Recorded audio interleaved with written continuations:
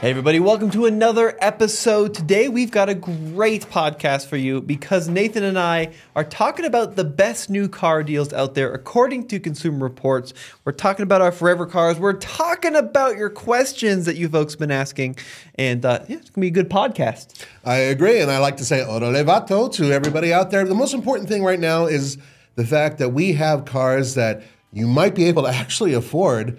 Um, but before we even start this list, you may want to become an Italian fan because a majority of these vehicles, well, you'll see, you'll see. I'm gonna, I'm gonna keep you in suspense for just a little bit. It's, it's pretty awesome. There's a few vehicles from Italy on this list and a few vehicles from a bunch of other countries. Yes, yes, yes. It's interesting. You're gonna see a bit of a pattern. So, Consumer Reports follows the car market very, very closely.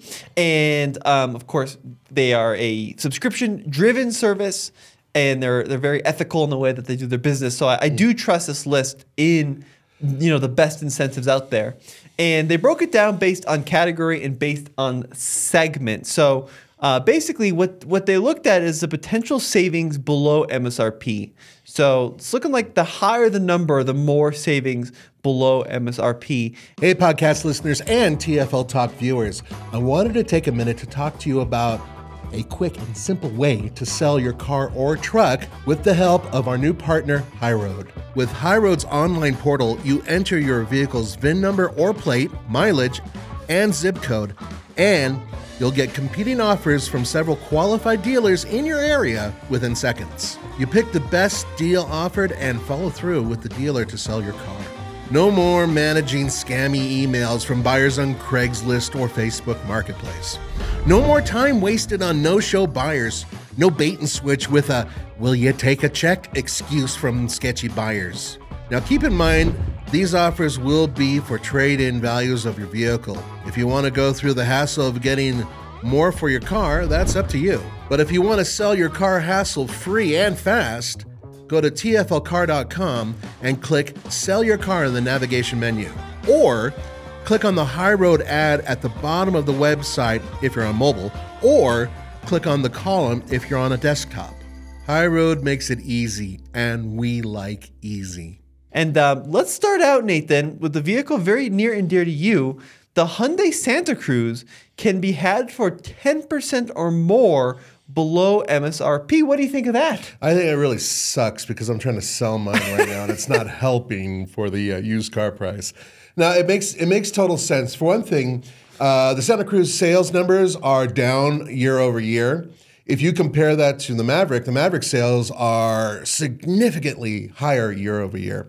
Uh, but with the Santa Cruz, uh, I think one of the reasons why may be because I believe it was at the New York Auto Show they introduced a not an entirely new one, but one with a new face and some other little gizmos on it that really gave it a bit more of a contemporary overall look. It had tow hooks and stuff like that as well.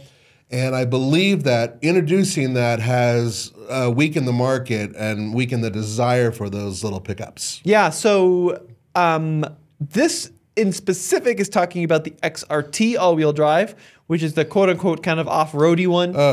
that gives you some like additional design cues that are supposed to make it look more adventurous. That's an MSRP of 40100 Are you going to miss your Santa Cruz, Nathan? A little bit. It, it was a really good uh, daily driver, and it was a very utilitarian little guy.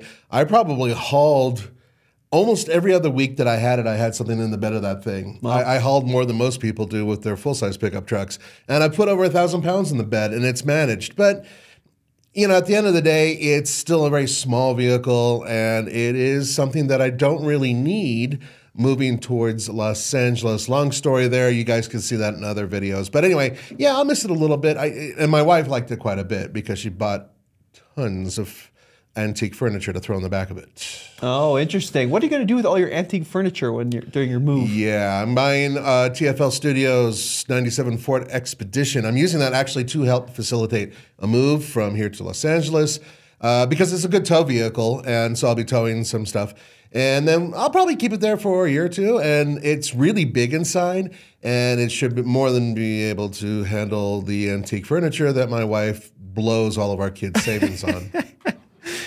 it is a shockingly big interior. I, It I really just- is, isn't it? I just did a move with that exact vehicle, and um, we could not believe how much. I mean, you like put a ton of stuff in there, and you'd be like, "All right, let's go," and you look in there, and there'd still be four or five extra feet behind the pile of stuff you put in. Yeah. So it would just keep going. Now, the other truck on this list, Nathan, where you can get good potential savings, is the 2024 Ram 1500 Bighorn, specifically quad cabs with the six foot four boxes. That's a $48,000 truck, which by modern day standards is pretty reasonable. Potential savings below MSRP, also over 10%. That's another one that I think is dealing with the fact that there's an all new replacement coming along. The Hurricane engine, essentially a new truck. I mean, there are still some carryover components, but I mean, and that that's really more for the truck channel. But the bottom line there is that we have a new powertrain uh, coming into that truck, and as such, we are talking about an all new vehicle coming very soon. Yeah, I mean, I, I think that the, the tw- difference between 2024 and 2025, you know, V8 versus that inline six, right? Um, personally, I I would if you can get a good deal on a 24, that's where I would be right now. yeah. you know, I think that that that's kind of the the, the Those Hemis were, are pretty solid engines. Yeah. yeah. There's quite a few of them still out there on the road. So let's talk about some SUVs because there are a ton of them on this list, and certain vehicles that can be had at a pretty good value. Starting with the Mitsubishi Outlander, um, over six percent off MSRP, thirty-three thousand two forty-five. It's a lot of car for an all-wheel drive vehicle. Yes, but I believe that's a regular Outlander, not the PHEV. You're exactly right. Yeah, and the regular Outlander, there's nothing wrong with it if you're okay with the fact that essentially what you're doing is you're driving a Nissan Rogue that's slightly longer because they do share a lot of components. Um, I actually am thrilled that uh, Mitsubishi is taking a turn towards being inventive again. Um, unfortunately, the PHEV is not on this list, I don't believe. But this particular vehicle really does it ticks all the right boxes. The interior is very nice. It rides quite well. There's a decent amount of power. Obviously, if you can afford the PHEV, I think Tommy and I would both agree that it's a really good vehicle. It's it's pretty impressive. Yeah, you know, Mitsubishi for a long time has kind of had a reputation for for building some rather cut rate vehicles compared to some of the other Japanese competitors. But the Outlander, not the Sport, the Sport is not my favorite vehicle. Oh, no. God, no. But the normal Outlander is actually a very competitive SUV in this smallish SUV segment. And it's one of the few that can be had with seven seats. Right, you can get Yep. the three row. I mean, granted, that third row is not usable for full size adults, but for kids, it works. Yeah, but for 33 grand, two, 33, 245, that's a lot of vehicle. I believe it is the least expensive three row any vehicle that is available in the United States. Mm. I think you're believe so. probably on the money there. Yeah. Um, by the way, did you see that they're bringing back some cool stuff from Mitsubishi? Yes, I did. Well, uh, theoretically, we, we still don't know for sure, uh, but they did announce, the president of uh, Mitsubishi North America did announce that there will be uh, a few new vehicles coming to the brand very soon. Uh, part of that is to replace some of the vehicles that they're discontinuing. We're going to lose the Mirage, I believe, this year. Um, and I think a couple other ones are either going to be updated or replaced. But in addition, we are talking about uh, possibly the addition of the Delcia coming to the United States, which we talked about uh, just a couple days ago. Yeah, so we've got um, over at TFL Car, we, we did a whole um, video about the, the Delica coming back. And yeah, I mean, the Delica abroad is like an off roady, lifted, tall van. Yeah, and I do call it a Delcia, and I know it's the Delica, and I do that on purpose because I'm an idiot. I don't know why I always do that. But I mean, what they previewed in this Momentum 2030 is kind of a slew of new vehicles. I think they're saying one heavily refreshed or all new vehicle a year from 2026 through 2030. And that includes a couple of SUVs located in the back of this kind of mystic photo that look like they've got some additional ride height. And they're also talking about not only full electric, but also they're continuing with gasoline and hybrids. Yeah, their their hybrid technology is actually quite good. Overseas, there's a lot of buzz about it, and they're now working with Nissan to actually build uh, some future vehicles with that uh, brand, including pickup trucks that may have a PHEV setup. Now, a quick quick point here: the uh, Outlander that we were just talking about. Um, there's a pretty easy to believe rumor that they'll have a more off-roady version of that, uh, which may be in this picture, which does have a lift and larger tires and everything else. And think of it along the same terms as like a Nissan Pathfinder, what they did with the Rock Creek and whatnot, with a slight lift and better tires and armor. Yeah, no, I, I think it's great. Look, What I would love is like the return of the Montero. Hell yeah! That would be awesome. And we'll be talking about the Montero again later on. Yeah, so I'm really excited about that. Um, so other vehicles on this list, Nathan, of deals to be had, we have a lot of Mazda products. so apparently, Mazda, it's a good time to buy a Mazda through the end of the month, and in some cases to the end of next month as well. But everything from the CX30 to the CX5, CX50, and the CX90, depending on the trim, you can get um, four, six, seven percent off the MSRP on these vehicles. So um, if you want a Mazda, apparently now is a good time to start start start looking for one. I would agree. Now, uh, once again, I believe that the CX90 that we mentioned is not the uh, PHEV version. No, it's the turbo though. That's a forty-two thousand dollar vehicle. I, I prefer. you like the turbo? I huh? love the turbo. I think it's a much more driver-friendly vehicle. It doesn't have that extra weight of the not only the battery but of the other components necessary to make it into a plug-in hybrid. And I just think it's a really well buttoned together vehicle that for the price gives you an awful lot of luxury for the money. I just think it's a great vehicle. what do you think of Mazda getting into that like inline six turbo world? Pretty I- cool, huh? It's really cool. Mazda always has impressed me with their powertrains because they manage to make remarkably efficient powertrains that still spin up and really move you. I am a Mazda fanboy. I'm, I'm not gonna, you know, I, I've owned five of them. Uh, but there's a good reason why. Because they're inexpensive, but they're fun to drive, and they tend to be pretty reliable. So, you know, I, I, this, these new ones are far more complex, but I really think that CX90 is impressive. But you know what? That CX70 really doesn't do it for me. the seventy, huh? Yeah, because it just doesn't make any sense. Oh, It looks the same as the 90, but just with a chopped rear. Well, I think Nathan, the the CX70 and the 90 are mechanically identical.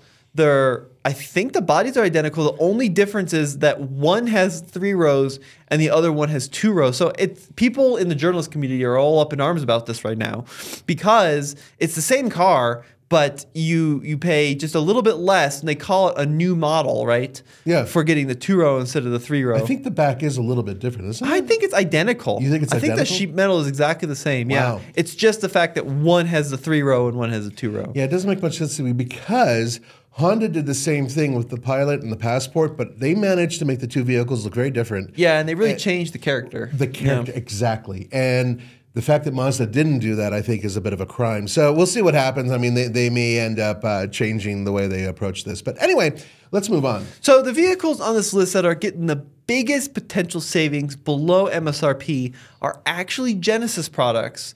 So specifically the electrified Genesis. So the GV70 electrified, which is a slightly bigger one, and then the GV60, which looks like a spaceship. Those are 13 and 14% respectively saving. So really big potential savings on those.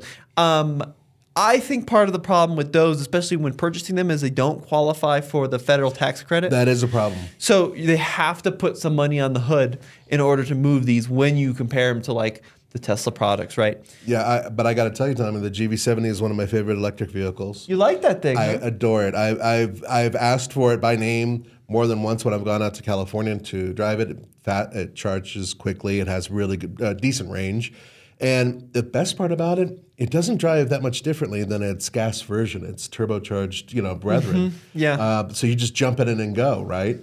I think it's just a brilliant setup and a very good vehicle. Um, you know, they're better out there, of course, but I just think for what you get and the fact that they're using the same platform, ah, great, great vehicle. The weird thing about that GV70 electrified is you never hear or see any ads about it. Nope. You know, it's it kind of just like snuck onto the market almost. Like they had the gas GV70 and the gas GV80 and those made sense.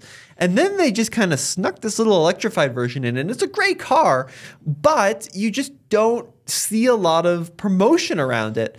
And I think a lot of people don't know that this thing exists, that it's it's an entirely different car than the gasoline version, and that it's you know it looks the same, but it's got a whole different ethos. So kind of interesting how that works. Yeah, I agree, and and, and it, there is something to be said about the PR over at uh, at Genesis and what they're doing why they're doing it. Uh, but I, I would say, you know, there's one really cool thing about it, just just straight out of the bat. Unlike other uh, vehicles built by Hyundai Kia Genesis, um, it has its charger in the very front of the vehicle in the nose. It's actually kind of hidden in the grill. I, know that sounds like just a small thing, but it's huge when you have to pull up to a charger and get this thing powered as opposed to having to go to the side of uh, many of these chargers. It's just so much easier. The car itself, I just think, is a brilliant car. I highly recommend if you're looking for an electric car, that one might be worth your while. Yeah, GV70 electrified is very, very good. GV60 is also good. It's like the slightly smaller brother. And GV60 though is looks very electric, right? It has a totally different look than About the size of a Kona, right? Yeah, it's like it's so it's based on the Ioniq 5 and EV6. It's that EGMP architecture, but it's um, very futuristic. So Yeah. some people don't like that. Some people just want to kind of blend into traffic. So that's where the 70 comes in. But they're both excellent vehicles. Um, a vehicle that may be a little less excellent: the Equinox LT from Chevrolet, one LT, um, six percent savings, thirty-one thousand dollars. Well, it's important to mention that the Equinox is going through a major change, Is yeah, that's right. And we have the EV now, the fully electric Equinox Mm-hmm. which EV. we just did a video on. I believe it's on TFL EV. Um, and that, that that's a whole different ballgame. Look, the Equinox is just kind of a yes, it, it's also a player. Uh, yes, it also competes with the RAV4 and the CRV. Um, and if you look, it's still a big seller for General Motors, but I think a lot of that has to do with fleet sales. Yeah, no, for sure. And it was recently updated. You're right about that. I haven't driven the new one. Still pretty good value, actually. 31000 if you can get into an all wheel drive Equinox through June 3rd. It's kind of a, you know, $31,000 in today's money is pretty on pretty much on the low end, especially for a good sized SUV. So, Agreed, agreed. So pretty good. We also have a couple Cadillacs on this list: XT5 luxury, XT6 premium luxury. Those are both six percent off. Buick Enclave and Audi Q3 as well on this list. So let's move on to some more vehicles, Nathan. In the sports car category, this is kind of a head scratcher, but it does make a little bit of sense. The um, Ford Mustang GT potential savings below MSRP, ten percent stickering at 41,960. So that's actually pretty much what we paid for ours. That is a screaming deal for a vehicle that has that much power and that type of performance right out of the box. And also, it's the only one. it's it. There's there is no other choice in the United States, at least right now, uh, for a muscle car. uh, Period. Uh, there's there's nothing from Dodge. There's nothing from Chevrolet. Unfortunately, if you're looking, really, you have to either look at the Germans or the Japanese, or actually the Koreans too. But really, V8 rear drive, this is it. Yeah. No, you're 100% right. I mean, it's um, interesting, though, that even though it, it's the last one on the market, there are still savings. Yeah. Right. So you'd think being last at all of the Camaro and the Challenger and the the Charger buyers would go to Mustang, hmm. but uh, but there's not necessarily that crossover. So we have one of these eh, exact cars. Actually, the MSRP in ours was 47, and we paid 42 for it. So it's exactly in line with what this. Uh, what this this chart is, is suggesting here. So yeah, I mean, f- five 486 horsepower for forty one thousand dollars. It's It's, I mean, come on. about as good as you're going to get. that, that really is bang for the buck. Uh, another thing to keep in mind is that right now, Ford has a ton of new incentives on top of the financial incentives for the Mustang, and that is a driving school. Uh, there's a whole new museum over at Charlotte. There's a whole bunch of new stuff that's sprouting up for the Mustang crowd, and they really want to make sure that you guys are included in their future plans as well. So they're they're doing a much more inclusive community behind the Ford. We just did a video at the 60th anniversary for the Mustang, uh, which I think is either on TFL Now or TFL Car, and that kind of shows you a little bit behind the scenes of what Ford is planning. Yeah, right. And you know what's cool about the Mustang? Recently refreshed. It's gone very tech heavy with the screens that they put in this vehicle, which some people don't like. I think it's okay. I understand, but one of the cool things that Nathan um, discovered from this trip that actually made it to our Mustang is that the 60th anniversary they had all the generations right, Mm-hmm. and they actually sent over the air a software update, so now we can get the 1968 gauge set in our Mustang. Yeah, a digital cool. representation of it that's Yeah. uh, uploaded. What, what's really cool, and I'll give Ford a lot of credit for it, it's free. Uh, I mean, they could have charged for that, and I guarantee you they would have made a little bit of money off that, but it was free to anybody who wanted it, uh, which I think is pretty cool. It was really great. Yep. So we got that for free, which was awesome. Now moving on to cars, Nathan. Um, th- the overwhelming thing I'm noticing on this list is a lot of Audi products. So A3, 7% savings. A4, 12% savings. A8, 17% savings, and A6, a whopping 19% savings on a Premium Plus 45 uh, TFSI Quattro. 19, almost 20% savings on a brand new A6. I mean, they're decent cars, but let's talk about Audi just for a sec. What's the one thing Audi is lacking right now? Um, uh, what? Individuality. I honestly, I haven't seen anything really pop from Audi in years. You know, where I'm going, oh my god, that's a cool looking Audi. I mean, occasionally you'll see some stuff with their electric vehicle. I think that's a good looking car, their uh, the GT. But um, everything else really just bores me, and I think it might be boring other people as well. That's my own personal take. Of course, many Audi fans out there go ahead and you know argue with the fact that there are that many vehicles on this list that are going for less. Yeah, I think there's just not a lot of excitement right now around a lot of the um, Audi sedans. It's just the styling is just just boring. and it's all the same, right? Exactly. They, they've made them too similar to each other. Like an A4 and A6 and an A8 are just so close. even the A3 looks like an A6. You know, it, it, if you if you spend your money, I think that to a certain degree, you want people to go, oh, okay, yeah, I mean, that is a really good looking, you know, A8. But it, you may be confused for something else, especially Yeah. from the front. No, it's true, and and um, th- there's just you know in this market where it's already hard to sell sedans, Mm-hmm. you really have to make your sedan stand out or Yes. give it give it added value over the SUV, Agreed. right? And Audi hasn't necessarily um, done that with with I think some of their their, their sedans. I mean, A8 is is a ninety thousand dollar sedan. That's a hard sell, right? Um, A6 though, you can get in the high fifties with some of these savings. So like there are some crazy values to be had. A4 in the low forties. Which is, you know, pretty nuts for a premium vehicle. So if you do, I mean, they're still capable, comfortable cars. The engineering's remarkable on some of them. I mean, they really do have an amazing all-wheel drive system. Their powertrains tend to be extremely powerful. Uh, I mean, they, they really are decent vehicles under the skin. My issue, of course, is the fact that they're just not popular for a reason. Yeah, so you know, 17, 19% savings is crazy. So Yep. now is a good time to buy one through at least uh, 6.3 of 2024. Uh, another time to buy a good car is the um, the Hyundai Ioniq 6. So this it's a really funky car. It's this little sedan that Hyundai all electric builds with this wild, almost Beetle-like look to it. Uh, 16 plus percent savings on an Ioniq 6 right now. But the, the way to buy these actually is not to purchase them outright. The way to obtain one is to lease them. Yes. Because there are some crazy lease deals, like under $300 a month for what's a near $50,000 car. Right. In addition, you can also get the uh, tax rebate if you lease the vehicle that uh, you know wasn't built in the United States. You're right. Yeah, yeah. So you are eligible for that. Yeah, and look, it's a weird looking car. I think some people really don't like the way it looks, but it still is a vehicle that'll do over 300 miles on a charge, right? So it's it's got a lot of range. It's got a lot of usability. It's very easy. It's, it's, a, it's a nice car to drive. Really nice car to drive. Yeah, yeah, for sure. But it's you know it can be had for for not not a ton of money. Mm-hmm. Yeah, so really good option if you're looking to lease a new electric car. Actually, Morgan and I, um, she my my new wife has a um, uh, first wife, I should say, new and first.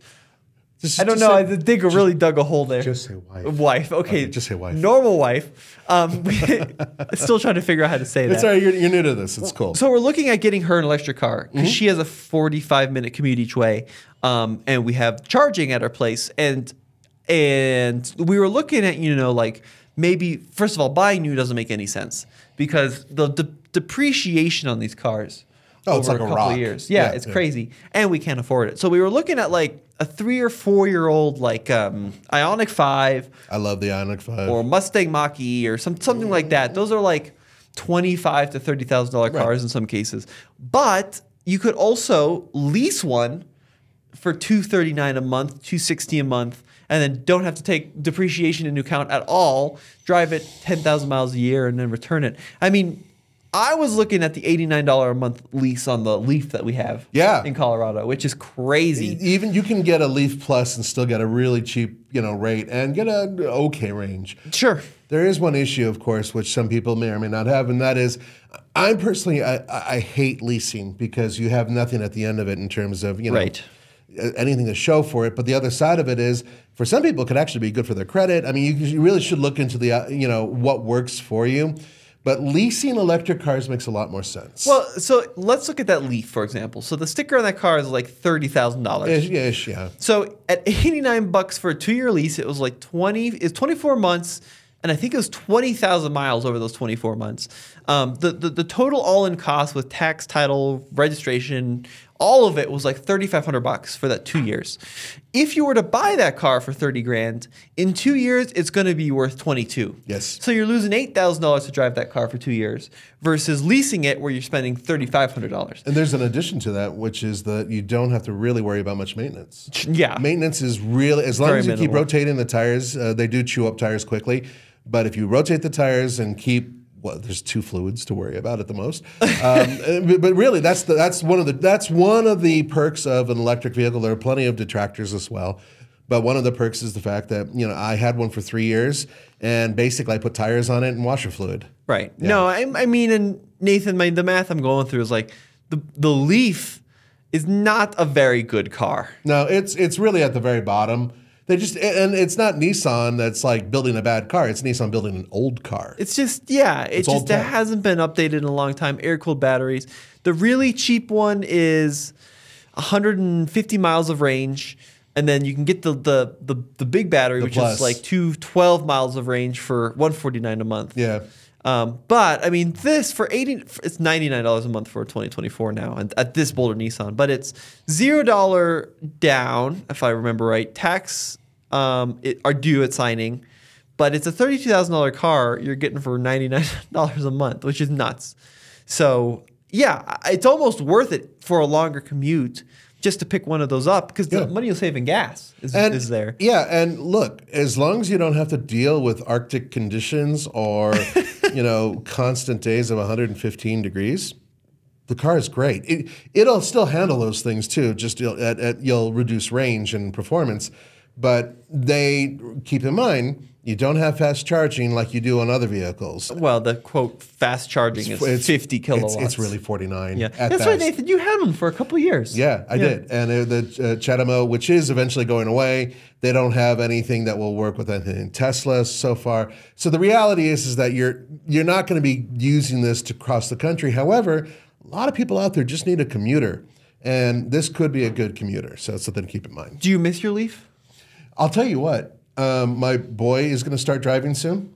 I know, crazy, right? That's nuts. and so I'm probably going to buy another old used Leaf uh, when we're in Los Angeles. Okay. It'll be super cheap. I'll be able. I think I'll actually get some tax incentives for uh, buying an old used uh, electric car, and it's my daughter hit every curb in Denver, Colorado.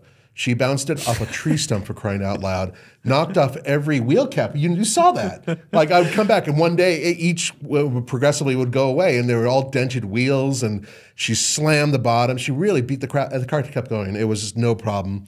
Uh, and and very few mechanical issues, if really any. So for me, someone who's money conscious constantly, having a 16 year old drive something that has a limited range um, that I can track digitally, which is also very cool, um, and also know that this is a really cheap car, and so and re- relatively safe cars too. By the way, you haven't heard about very many uh, Nissan Leafs uh, exploding or catching fire. So these are all good things. So yeah, I think it would be a very good used car for a first car for a 16 year old, and that's probably what I'm going to do in a couple of years. Did you um, ever run that thing out of charge?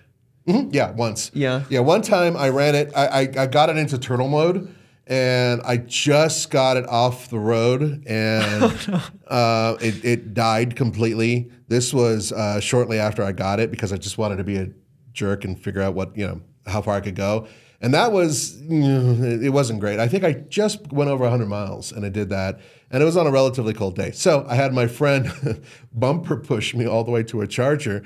Um, and I tried to use regenerative braking to see if I could get more charge into the car. Yeah. It didn't really like it very much. Oh, no. Um, and I got to a charger, plugged it in, and uh, many hours later it was ready to go. And there's no problems. It wasn't, it, it, it still has a reserve that's in it, so it'll still show the digital display and it'll still power itself. Yeah. But it's just not going to go anywhere once it's dead. So yeah, I did that once, and I kind of did it on purpose. Should we get back to the list? Yeah, let's keep going. So, uh, small car deals out there. Hyundai Yes. Elantras, 10% off for an SEL. Um, the hybrids, same thing, 7%. And the Nissan Sentra, 7%. So these are all cars kind of in the low to mid $20,000 range. One vehicle I'm not seeing on this list, which is a really good deal, and it kind of makes sense why there are no discounts, but the, um, the, the Chevrolet Trax. One of the best deals you can get in a car today, as far as I'm concerned. Yeah, it's not on this list, but if I was shopping for any of these kind of affordable cars, I might even skip like a Sentra and go right to a Trax. I would skip the Sentra and go to the Trax. Yeah. I absolutely would. I think that the Sentra is more comfortable. It absolutely is. It's- The seats in the Sentra, especially if you get the mid and upper level versions, have great seats, a very comfortable, great ride. Yeah, yeah, very Yeah, comfortable. yeah, it's a good it's a good little car, but the Trax has decent power. It's so far reliability has been good, even though it's a, a three cylinder turbo that people are freaking out about. Mm-hmm. But the amount of car you get for the money is really good. And so far, I've been very impressed with this car. And I think a lot of people didn't see this coming from Chevrolet. We just didn't think that they would still build a decent affordable gas car when they were screaming and yelling that they were going to move over only to battery electric vehicles. Yeah, it's amazing. No, definitely worth looking into a Trax if you want an affordable car. I don't think you're going to get much of a discount on them because they're already so affordable, but uh, really, really good. Ah, but I do know one that might not be on this list that you may be able to get a little bit of a break on, which is related to the Trax. Yeah. And that's the Envista. The Envista is a nicer version of the Trax. Think of a Trax in a tuxedo. Yep. Same powertrain, uh, a lot of the same components, but a much nicer package inside. And those vehicles I've been seeing uh, just just in general that they've been going at or even just under MSRP. You may be able to wheel and deal on those. They're just not as popular as the Trax is. Yeah. So other vehicles on this list: Chrysler Pacifica Touring L, four percent below. Um, we also got vehicles like the Cadillac CT4 and CT5, the Mazda 3 2.5, the Volvo S60, another vehicle on this list. You know what I haven't seen yet, on, but, but maybe you just have skipped over them. Are all the uh, Alfas? I don't think there were any Alfas on I thought there were a ton of Alfas on the uh, on the initial list. No, not on this one. Really? Okay. Yeah, there's Uh, there's a couple lists we were looking at to put the story together. Uh, we went with the Consumer Reports one because it's it was the most reputable. But uh, are there deals to be had on Alfas? almost every car they build, yes. really okay. Yeah, every the, that they sell in the United States, including the Tonale, otherwise known as the Tonale. Um, sorry, I can't help it. It's just it's easy to confuse. But uh, yeah, the the Giulia, um, everything, everything that they sell in the United States is currently, uh, you know, you can get for uh, under MSRP, or you can wheel and deal and get them relatively cheap. I I am looking at our local Alfa dealer here. Uh-huh. Um, Giulia Ti, fifty one thousand MSRP. The uh, the price that this dealer is offering forty one, so ten grand off, five grand off. See what I mean? Five grand, five grand, four grand. Yeah, so there's. It looks like at least locally, that other list we, we saw that had Alfas on here is onto something because even in our area, there are some pretty big discounts to be had. I mean, look, they're just not selling. And okay, I know that reliability is a big question for a lot of people, but I got to tell you that, with the exception of the Tonale, which I have not driven, but I've driven its cousin, the uh, the Dodge, which is mixed results. Um, the Giulia is still one of my favorite sedans to drive. Uh, not even, you know, yes, the Quadrifoglio is amazing, but just the four cylinder turbo, just a great, fun, luxurious, wonderfully handling car. You know, it's interesting. It, it uh, the the thing about the way our dealer model is set up is that you know certain dealers will obviously have better discounts than other dealers. Yeah. But uh, poking around, it definitely seems like the car market is settling down quite a bit. It is so far. We are expecting kind of an ebb and flow. So leading up to October, October is usually the time when you're going to see dealerships swa- swapping out and using their new inventory and getting rid of their old inventory. That's that golden time. So between now and October, I think you're going to see some pretty good deals, especially there's certain automakers out there that are just simply not selling their vehicles. Stellantis. And one of the reasons may be that they've oversaturated the lots, or perhaps they're asking too much money for their vehicles.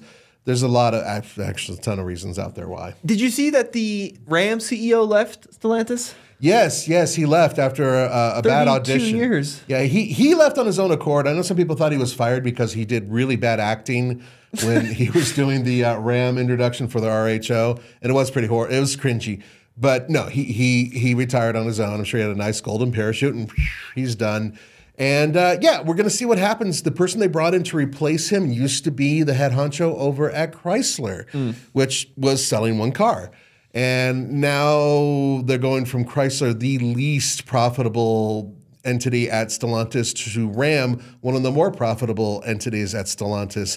So do you take that president and move them there? I don't know. We're going to see what happens. Well, Nathan, we're going to be sure to follow up as things progress over at Stellantis. But we do have some Patreon questions. Mm-hmm. Ah, let's fire So away. if you want to um, ask us questions, you're welcome to do so. Become a Patreon member, uh, patreon.com slash T. I don't even remember what the URL was, Nathan. Yeah, it's, it's a Patreon. I think it's TFL car. It is Yeah. car, and that's the only one we have. Yep. Um, but we uh, we answer truck questions and off road questions and all of that over at uh, patreon.com. You can ask Tommy about his marriage and whether or not he actually classifies his wife as a new wife or a first wife. Sorry, I couldn't help. Listen. it. it was too good. Listen, listen. Um, so you actually got a great comment from Dave over at Patreon who sent us a note. Um, uh, it was about your conversation of EV versus hybrid versus ICE. yes. Um, Dave liked Roman's point about having the right tool for the job. I would agree with that. Yep. And um, it seems like um, Dave said you all have educated me on EVs four years ago. I wasn't sure about EVs, but after watching TFL, I've really come around. And just like Roman said, it's the best tool. If it's the best tool for the job, why not consider it? Yeah, and I think that's true, Dave. Like we are all both big um, gasoline people, but we also understand that like for my current nut wife, my current wife, Just, just say my wife. first Just, don't- you don't have to say Karen.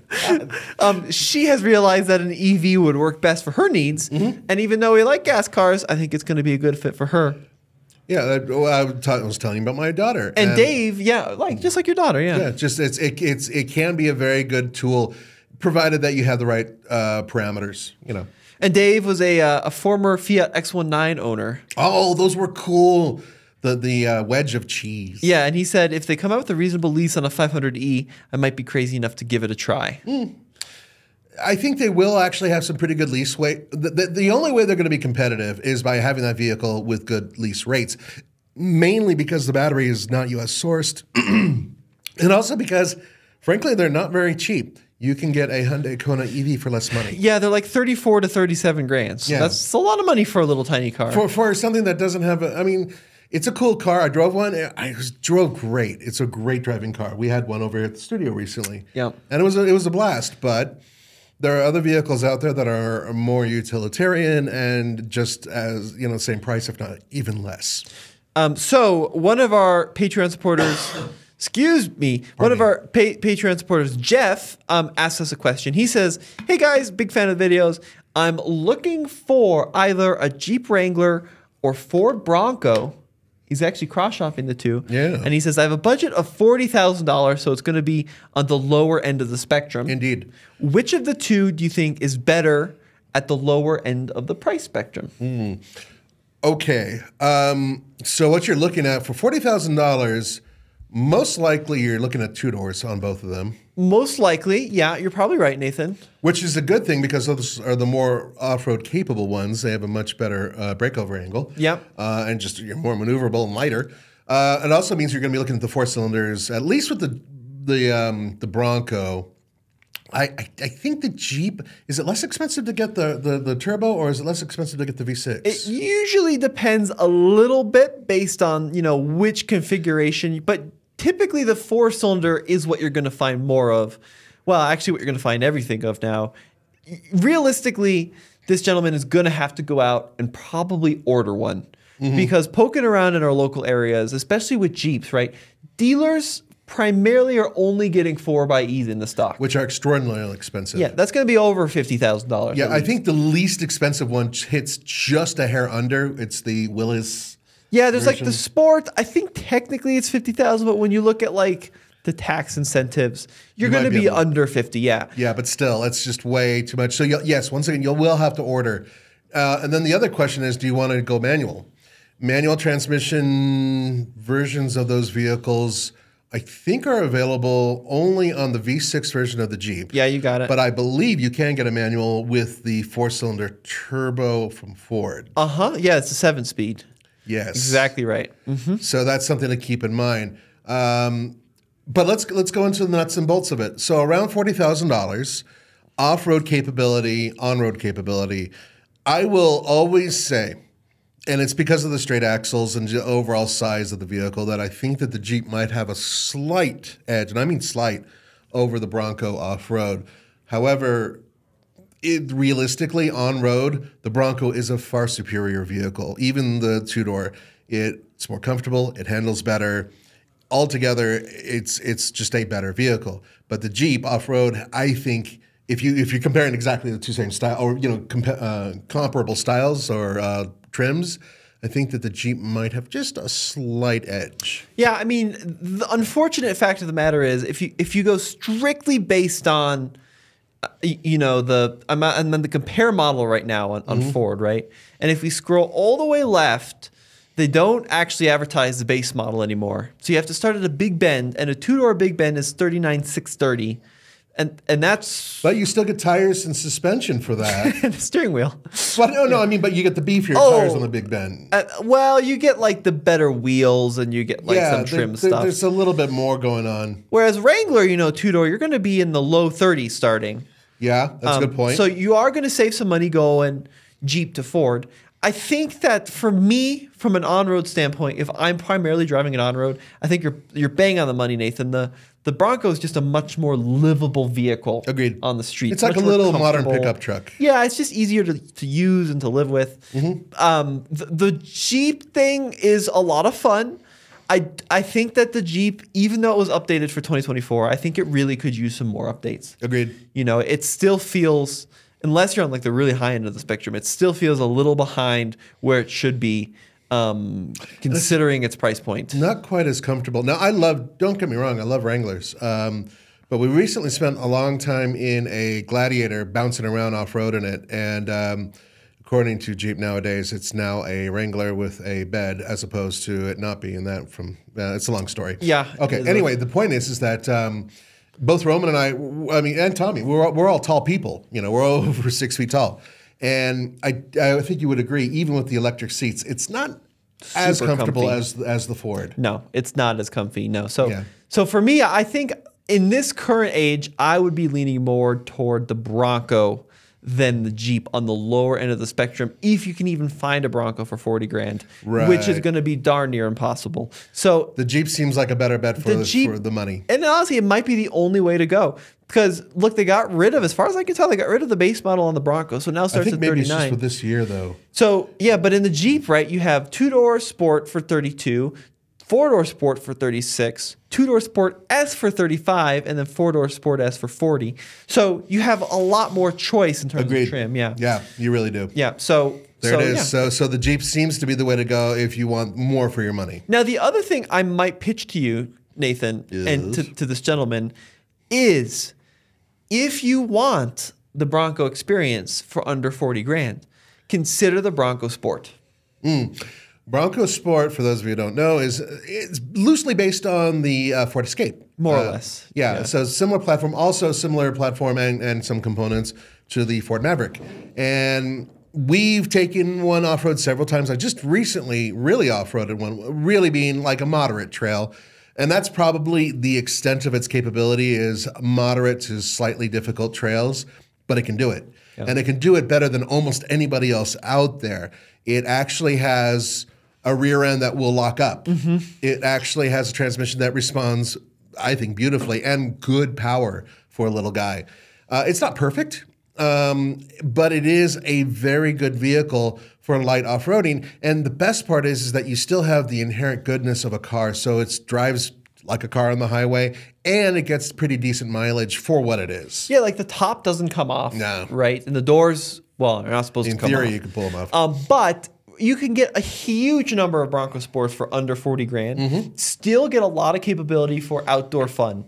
So Big Bend, you know, starts at 30, Heritage 32, Outer Banks 33. I mean, Badlands, right? That has the tow hooks and and the underbody stuff. 38. So you can you can get a lot more Bronco Sport for the price than you could ever full size Bronco. And once again, we've really had a chance to bash these things around quite a bit at, at, at a variety of different uh, terrains and, and locations.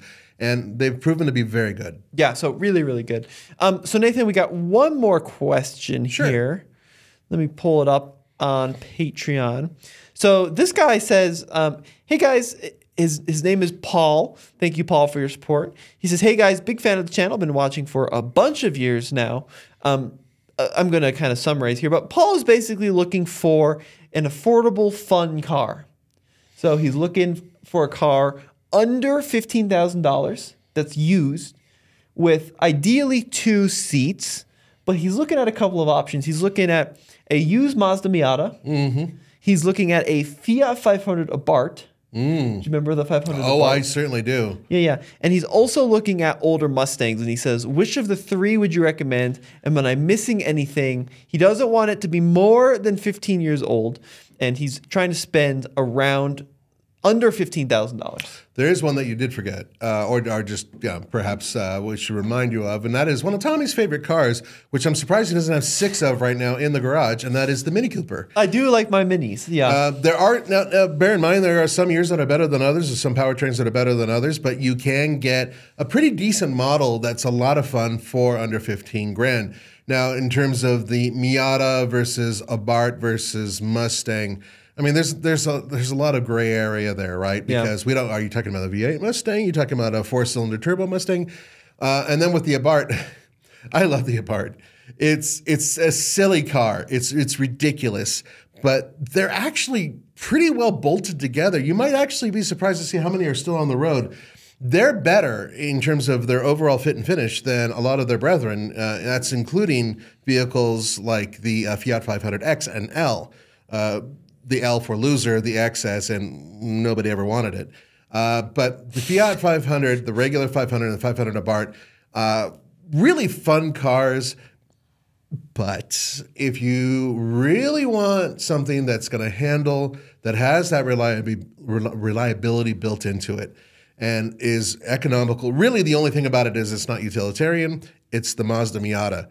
If you're serious about fun and going cutting through, you know, the mountains, Miata is the way to go, and that's every generation. yeah. No, I mean, they're so different, right?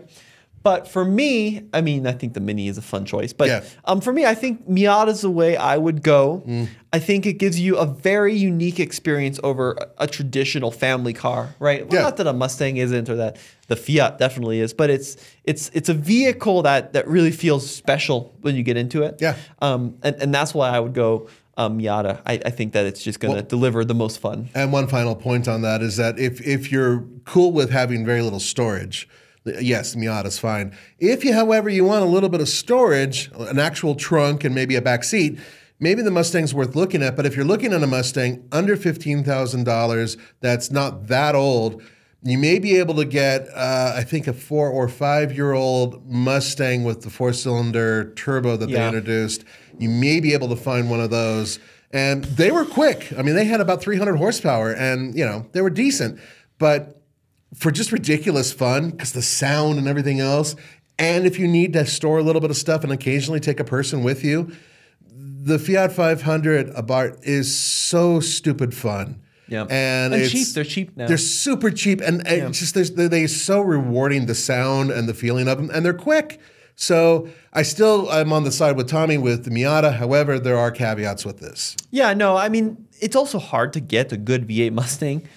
Uh, Even a 10 year old Mustang for under 15 is going to be a really big, big push. Yeah, that's exactly my point. So, yeah, I mean, you are, you get better value by, like, if the Fiat sounds amazing. I do worry about its long term reliability, but it does sound amazing and it is super fun. Mm-hmm. But, you know, pick one of those up for eight, nine grand and you're going to have $6,000 left in the bank to, to fix it. to fix it. When it breaks, that'll at least get you a few miles down the road. Those little snarly engines so far have been rel. I mean, they, it, they're not screaming and yelling that they're exploding left and right. right? Good. Oh, that's yeah, good. so that, that's a good thing. Oh, by the way, if you and there's another option with the Fiat, and that is there's a regular Fiat 500 that had a turbocharged engine, but without all the glitz, and it wasn't quite as powerful as the Abarth, but it was they they didn't make that many of them. But I think it was just known as a 500 turbo. And um, yeah, yeah, that's remember those? And um, they're out there as well. Now I know a guy who's got a regular 500 who's got 250,000 miles on it, and the only issue he's had is a starter and the brakes. oh, interesting. Mhm, And he's in Los Angeles. That's pretty good. Really good. Yep. So Nathan, we have a list that you put together of your forever cars. Ah, yes. And um, here, I can pull it up on my phone here. Now, bear in mind that list was was, was partially to mess with you, Tommy. Initially, I was going to add in like a nine, uh, 1898 uh, Oldsmobile Curve Dash or whatever the first generation. of that one. 1904 Yeah. curved dash. Sorry, automobile, 1904, yeah. Um, so you have lifetime cars, cars we'd be willing to spend the rest of our lives Basically, with. if we had to have just one car to drive every single day, and you could, I mean, yes, you could drive other cars, but th- but this is your main car. This is your driver. What would it be? Your list starts out pretty good and then goes downhill very quickly. Well, there's a reason for that. Okay, so so go go through number five here. Okay, Toyota Land Cruiser, pretty much every Land Cruiser leading up to the one that's currently out today. And why am I not including the one out today? Because I haven't driven it, so I don't know. Mm. But Toyota Land Cruisers, many people would agree. Big Toyota fans out there would say, like, yeah, that's that's my only car. That's that's what I will drive forever. And in many cases, it might actually last forever. Yeah, I mean, that, I, I, I agree with that. I- Regardless of the series, 80, 100, 200, whatever, they're just fantastic cars. Very capable, comfortable, long lived. I'm, I'm on board with it so far, Nathan. I think that's a good one that you could live with. Do you like the pig nose? Um, like the like the 55 where they the weird round headlights. yeah, yeah. yeah. No, I mean I thought those were kind of cool looking. th- they drive pretty good. I've driven one of them before, and I that was actually pretty. It's it's old, like it's over 50 years old now. Yeah. but they are they're pretty good. Yeah, I, I just kind of dig the way they look. the Iron Pigs. Yeah, yeah, those yeah, are, Iron- those are yeah. Uh, so now uh, the next one is a choice for moi. Okay. Uh, now, as you know, I am a huge fan of the Mitsubishi Montero. Yeah. I've owned technically four of them, but really driven three of them. we won't talk about that fourth one, will we? Um, so I've had just about every terrible. generation, but one that I haven't had, which was not he- available here in the United States, was the Pajero Evo Evolution. Mm. And essentially what that was was a slightly toned down version of their full on rally raid version of the Montero. Now, by the way, uh, the Montero, the Pajero, uh, won uh, Dakar 12 times, the most of any automaker and auto name in the world, and for a good reason, because they know how to build a really good off roader. So, this particular version of it, and I've heard from other people, is just take everything you know about off roading and just throw it out the window. This thing is stupid fun, it's really fast, and it's something that I could drive my entire life. Uh, but realistically, let's say I couldn't afford that, which most likely I couldn't. I would still take my first generation Montero, which was I think an '88 that I had. Okay. Which was the two door, yeah, that was cool. And I, I, I could drive that forever and be very happy. It was such a good. Really? It was perfect for me. Even today, where you're at in your life, you think that would still be I think fun, it would yeah? be absolutely awesome. And that one that I had was the four cylinder, which got okay mileage, which in Los Angeles means I'll only be spending a couple thousand dollars a month on gas. Um, so Pajero Evo is very cool. Yeah, it's, it's homologated. Yeah, it was awesome. Number three, Cadillac Catera. Yeah, perfect for your dad. Yeah, yeah. Roman would love that, especially because they had a manual transmission option that a lot of people didn't know about. This was like when Cadillac was trying to go after like BMW. Oh, they did such a horrible small. job. Yeah. They called it the Cadillac that zigs. And the best part about it, I, I don't know who what ad agency they hired. I'm, I'm glad they fired him. Um, they actually had a little duck, this little cartoon duck, as part of the image. So you know the shield for Cadillac. Yeah. It kind of popped out of the shield, and you had this little duck. So all these Cadillac people back then who were like, you know, it's it's you know the art and it's the science and it's you know it, it's U.S. The, the American version of Mercedes and everything else. And also got this little cartoon duck bouncing out of this little Cadillac that was really unloved. Um, but I think that it would be perfect for Roman. Y- okay, so that not for you, but for Roman. Right. Okay. I, I, I- got one I for Roman. I got one for you, and I got another one for me. Okay, so number two is this is this for you? Yes. Okay. What do you got? One of the best hatch, hot hatchbacks I've ever driven in my entire life. Peugeot 205 GTI. The one I drove was a late 80s model. I know I'm stuck in the 80s, sorry guys. but it was so much fun. The car was the most responsive car I've ever driven. Yes, I had to drive it overseas. Um, I've even driven the base model, no, not the, the regular I version of it, and it was still fun. Wonderful platform. The car communicates with you. It's one of the best steering vehicles I've ever driven that was front wheel drive. Um, and the, the GTI version of it was quicker. And it's just different than the Volkswagen GTI, which would be another choice. I think it's a great car, the early ones. But this thing was just so much fun, so rewarding. And I remember I was getting like 35 miles per gallon in the damn thing. It was really impressive. Yeah, I mean, obviously one of the most iconic rally cars in, in history. Um, and and I think they're great looking. yeah, certainly. Like I think by modern standards, it'd be pretty slow, right? But but very interesting car and, Yeah. and very cool. Your number one though is a little curious. That's Tommy's. Stanley Steamer. Hell yeah, for you. That's my forever. Out of this room, who's the one who bought a vehicle over 100 years old? That wasn't me. That was you. And you love the old stuff. You're an anachronism walking. So a Stanley Steamer. How many people have those? Very few. Leno. Yeah. Right. And maybe Very one or few. two of his, his drinking buddies. That's it. Yeah. So I think that Tommy needs to get a Stanley Steamer and drive it forever. I would like to drive one. A, a little nervous of, about them over, exploding. Oh, it, it, you only hear about it occasionally when it lights a celebrity on fire. Come on. So usually they're okay. It's just when they light a celebrity. Do you know at one point in time, Stanley Steamers were outselling uh, gas vehicles? they were very popular? They're very popular. And up here in Colorado, we have a direct connection with Stanley Steamer, and that's because the Stanley Hotel, the Stanley family, yeah, that's the same family as the Stanley Steamer. They have one in their basement, don't they? They do indeed. They have a steam car museum, Nathan.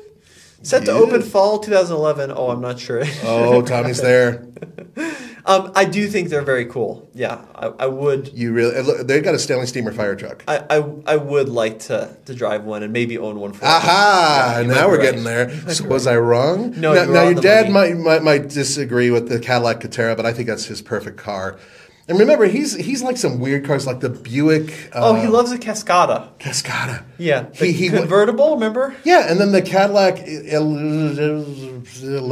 the ELR. ELR. That was it. That's it, He yep. loved that too. Yeah, he I mean, does. and nobody Every now else and does. Then he just he comes out of the woodwork and he just like, this is a car I want, and you're like, you want that one, really? He had a Jaguar X type. Mhm, Loved it. Yeah, and most people out there are like, "Oh wait, isn't that a Ford?" Yes, it is. but he loved it, so he has kind of a quirky sense as well. So I think a Cadillac Catera is right up his alley I think you're right. I think I'll pitch for the one. rest of his life. All right, I'll drive the Stanley. You drive your Peugeot. And my dad will Yeah, no, I actually really want to drive my Mitsubishi. Well, folks, let us know what you think in the comments below. What is your forever car? We'd love to uh, to hear your input on this conversation. Indeed, we would. And also, were any of those cars interesting to you on that list? Is there something that you're going to pursue because of what we said? deals, Nathan. You're Some right. pretty good deals out there. I'm curious to whether or not that's actually going to be something you're going to look into. So Yeah. let us know in the comments below. No, for sure. And we'd love to hear um, all your comments where we read them all. And big thank you to our Patreon followers, patreon.com slash TFL car. You guys make this podcast happen. And we'll see you next time. Vaya con Dios.